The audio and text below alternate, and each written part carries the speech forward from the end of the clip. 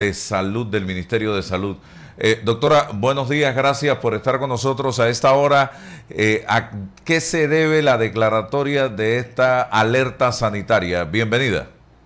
Buenos días Álvaro, eh, público telescucha. Este, agradezco la oportunidad de comunicar a la población, ¿verdad? Que la alerta se ha levantado debido a un incremento de casos más allá de lo esperado para el periodo y que esta alerta es una alerta que se ha concentrado en estos momentos en cuatro regiones de salud, que son Panamá Oeste, Panamá Metro, Colón y Panamá Este, porque en estas áreas encontramos la mayor cantidad de casos de dengue y, por ejemplo, en, en el corregimiento de Las Garzas tenemos una cantidad inusual de casos llegando, ¿verdad?, a tener eh, prácticamente 868 eh, casos, mucho más allá de lo esperado, y una, un, índice de infestación que está por el orden del 5.6%. Eh, también es un índice sumamente elevado porque el mínimo que deberíamos tener para estar en una condición de bajo riesgo se ubica por menor, menos de un por ciento.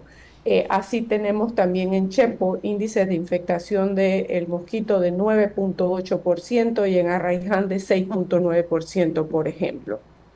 Sí, eh, doctora, la gravedad de la situación en este momento y los tipos de dengue que se están dando, porque eh, aquí estamos claros de que hay etapas o situaciones, unas más peligrosas que otras.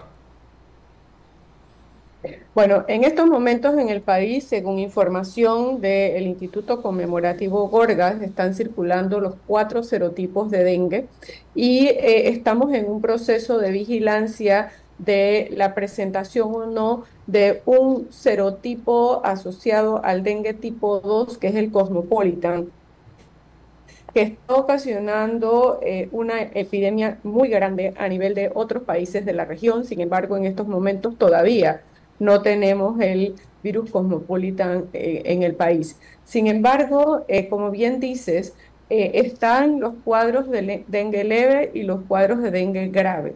En el caso de la mayoría que está ocurriendo en el país, son dengues leves, gracias a Dios, afortunadamente, que se presentan con un cuadro clínico de fiebre leve que puede desarrollar fiebres incapacitantes, dolor intenso de cabeza, dolor detrás de los ojos, dolores musculares y articulares y manchas rojas en la piel que se conocen como eritemas.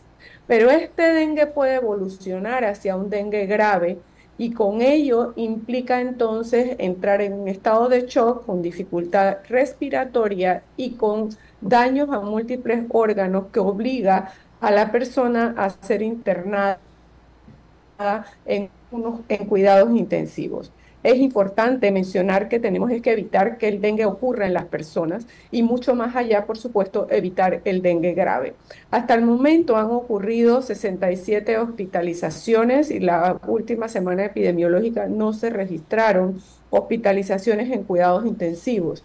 Sin embargo, eh, a la fecha, a la semana 29, epidemiológica, eh, tenemos 20 defunciones por dengue en grupos y está afectando a grupos de diferentes edades.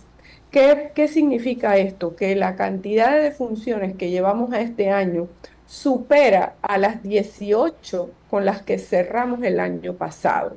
Entonces, por esto eh, se ha levantado la alerta sanitaria un poco con la finalidad de eh, trabajar más colectivamente con otras instituciones, pero también por, para hacer un llamado a la población a que elimine los criaderos. Es fundamental tener claro que los criaderos son un elemento clave, la eliminación de los criaderos es clave y la población puede colaborar muchísimo buscando los criaderos dentro de su hogar, en sus predios, en su comunidad y eliminando estos criaderos.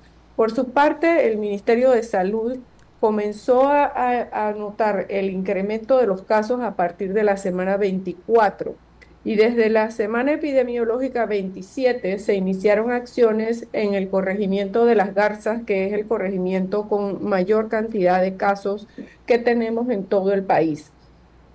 Sin embargo, si la población no colabora eliminando los criaderos, si los empresarios no hacen las revisiones de sus instalaciones, de sus predios y eliminan la chatarra que son criaderos no útiles, pero que pueden, ¿verdad?, recoger agua limpia, que es donde el mosquito le encanta eh, estar y crece muy favorablemente, no vamos a poder combatir la epidemia que, de dengue que venimos teniendo desde inicios de este año, de hecho, eh, desde finales del año pasado, porque hemos estado por encima de la curva de proyección que nos da eh, o que nos permite hacer el canal endémico, que es una curva que se hace con información de los últimos siete años, en donde se sistematizan los casos para ver cuál es la proyección esperada.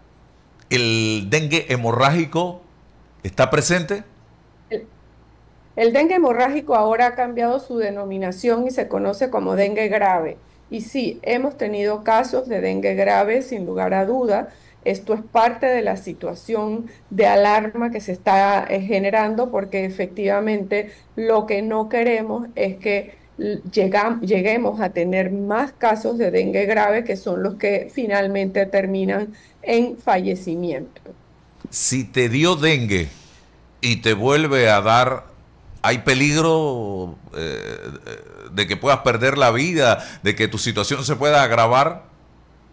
A ver, siempre eh, el, dengue eh, tiene diferentes serotipos de virus que actúan y pueden afectar a las personas y efectivamente puede ser más susceptible de tener un dengue con signos de alarma.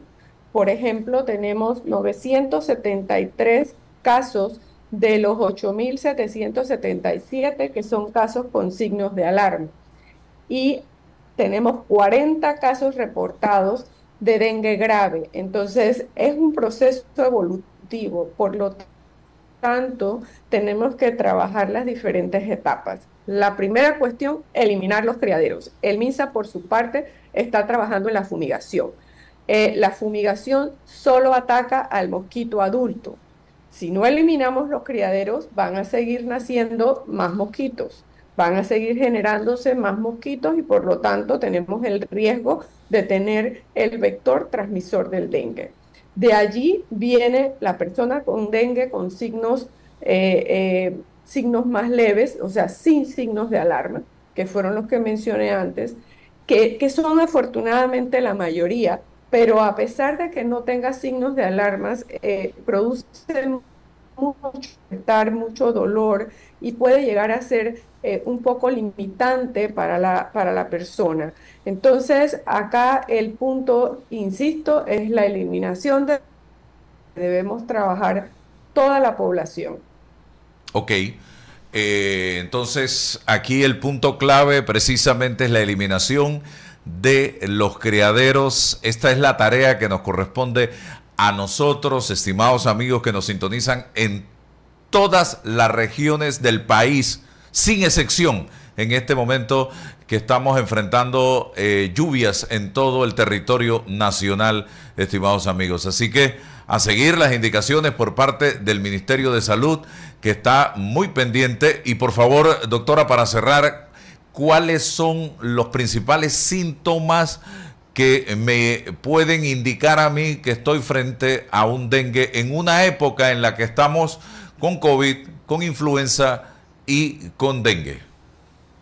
Bueno, eh, como mencioné anteriormente Álvaro, el dengue comienza con una fiebre leve que se torna incapacitante, pero que se acompaña usualmente de un intenso dolor de cabeza y hay un signo muy particular del dengue que es un dolor detrás de los ojos hay mucho dolor muscular y en articulaciones. Entonces, la recomendación es que cuando usted tenga alguno de estos síntomas, justamente porque hay coincidencia con algunos otros eh, procesos que tenemos en esta época en donde también están ocurriendo muchas infecciones de tipo respiratoria, es necesario que usted acuda a la instalación de salud más cercana para que se le haga su diagnóstico. Nosotros estamos haciendo lo que es la vigilancia de los febriles y cuando las personas llegan con fiebre a la instalación, se les toma muestra para poder este, eh, corroborar si la persona ha sido infectada por dengue. También se hace un diagnóstico de dengue por